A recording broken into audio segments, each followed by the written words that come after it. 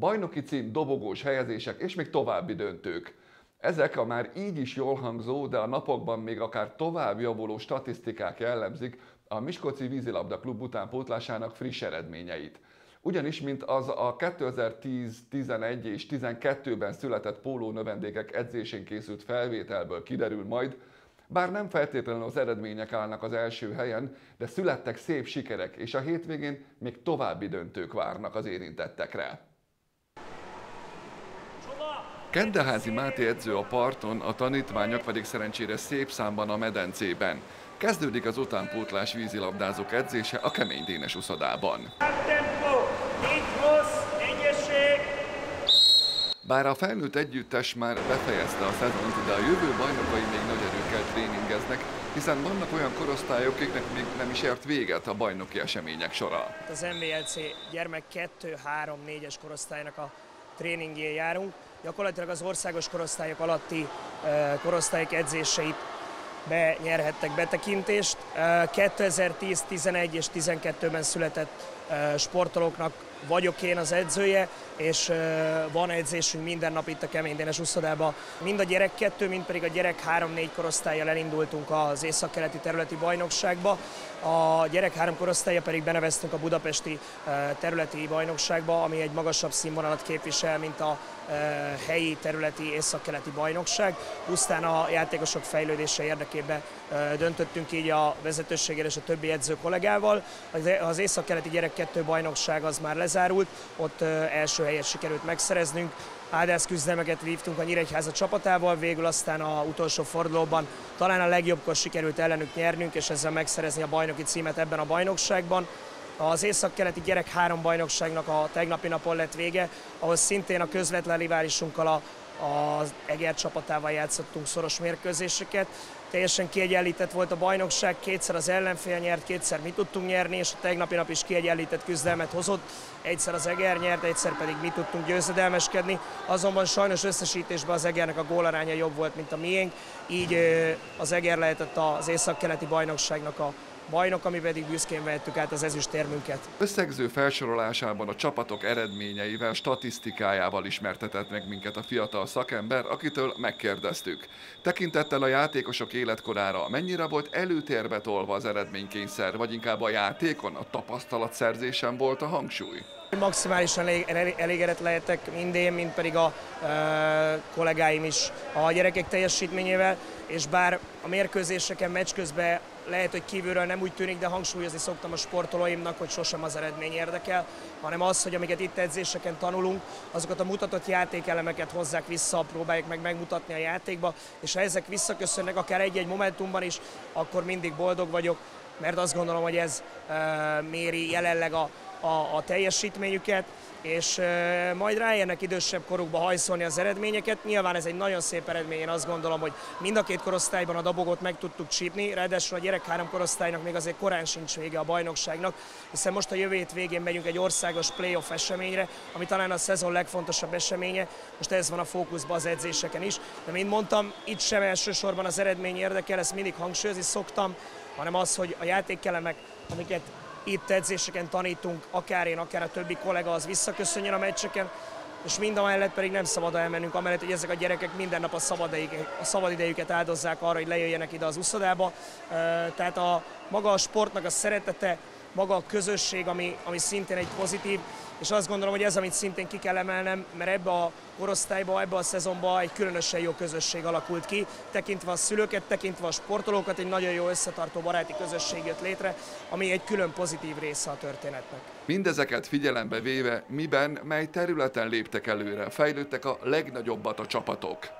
mind egyénileg, mind csapatszinten rengeteget fejlődtek a játékosok.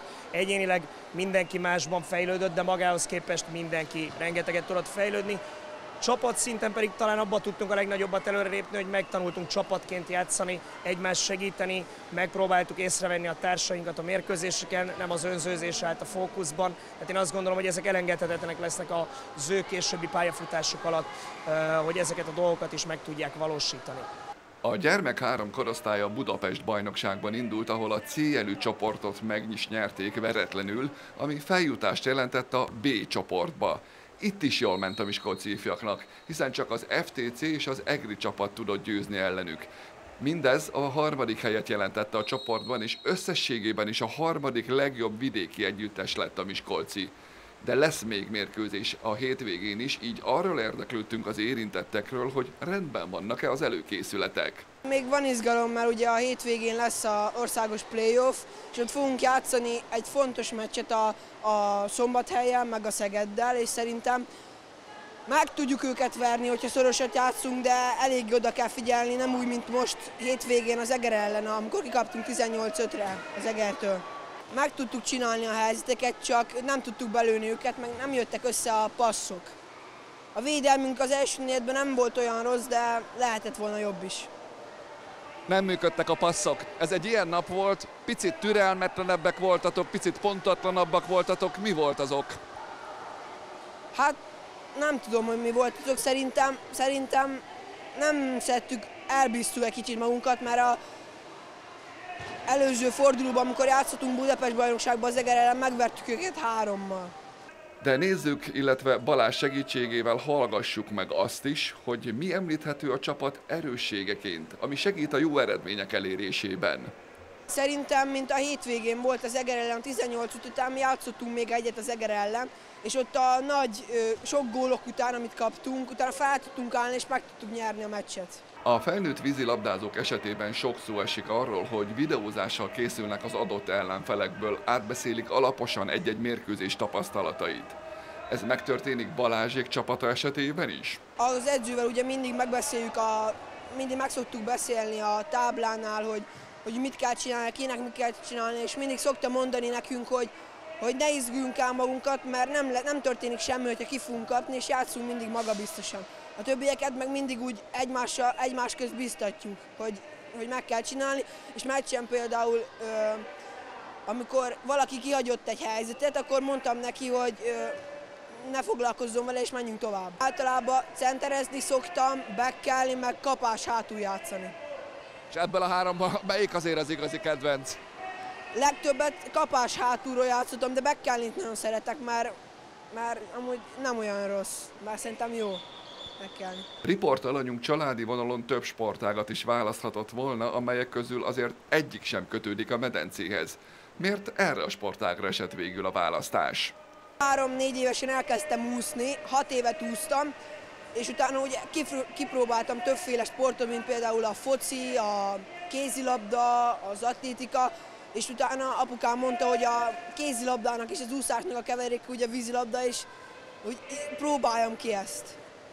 Na és mi volt, amiben legelőször beleszerettél? Legelőször, amikor, hát amikor elsőnek jöttem az első edzőmhöz, nem szerettem annyira a vízilabdát, mert nem volt olyan jó az első edzésünk, de amikor már így jobban elkezdtünk vízilabdázni, hogy komolyabban vettük, akkor már jobb volt sokkal.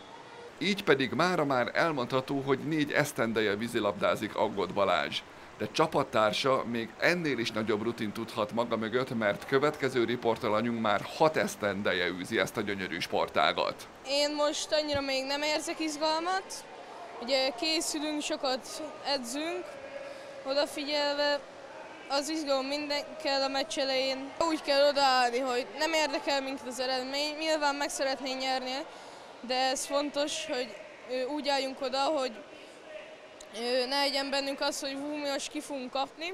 Hát egy csomószor volt olyan, hogy mi a meccs végéig is higgadtan játszottunk, mire az ellenfél meg nem kaptak, egy csomó cseréset, kipontozódtak, és ez volt szerintem a kulcs a nyeréshez. Az öltözőn belül milyen most a hangulat? Elégedettek vagytok? Jól alakultak a dolgok? Még, még lehet, hogy a hétvégén még jobban fognak, de az idáig vezető út is fontos. Hát nyilván voltak olyan meccsek, amire azért eléggé szomorúak voltunk, mert tudtunk volna jobban is játszani, de voltak sok boldog pillanatok. Én általában rossz kész hátul, meg szélen szoktam játszani. De van olyan, amikor be kell mennem bekelni, meg centerezni. És bekelni jobb, vagy hátulról nagy gólokat lőni? Hát mind a kettő hasznos, ez kicsit nehéz megválaszolni, mert mind a kettő más. Hát nyilván mindenki gól szeret lőni, de néha fontosabb az is, hogy milyen paszt adsz, vagy hogy hogy védekezel. Szoktam gólokat is lőni, de leginkább inkább kiszolgálom a többieket, adom a passzokat, hogyha jobb helyzetben vannak, mint én. Meg kellett kérdeznünk Mortól is, hogy neki hogyan kezdődött a pólózás, mert azért hat év nagy idő, és aki ennyi ideje tanul már egy sportágat, az szinte biztosan benne marad, és ezzel fog foglalkozni. A elején úsztam jó pár évig, és mellettünk edzettek mindig a vízilabdások, meg a apukám is vízilabdázott, így volt egy kis így előnyünk is, és akkor egyszer csak átmentünk, és egyre több edzésre oda jártunk, és akkor így már átkerültünk oda. Szoktunk jönni a meccsekre, mind a nagyobb gyerekkorosztályra, mint a felnőttre. Sokat lehet belőlük tanulni, hogy mi volt az ő hibájuk, hogy hogy kell például megjáratni a fórokat, szerintem hasznos. Nagyon nehéz kérdés, az utolsó kérdés, hogy mi lesz a hétvégén, te mire készülsz, mit szeretnél? Hát én már annak nagyon örülök, hogyha tudunk egy meccset nyerni. Ugye az UVS meccs az elég nehéz lesz. Nagyon vegyes a, a csapatnak az összetétele. Van, aki már 4-5 éve játszik, de viszont van, aki csak fél éve e, kezdte el magát a vízilabdát. Nyilván, aki régebb óta a vízilabdázik, tőlük már összetettebb, komplexebb dolgokat is kérhetek, e, és nekik lehetőséget biztosítunk az idősebb korosztálynál, Popovics Miki kollégámnál is az edzés lehetőségre, hogy ezzel is fejlődjenek, e, ezzel is e, több terhelés érje őket, ezáltal talán gyorsabban fejlődjenek a korosztályukhoz képest.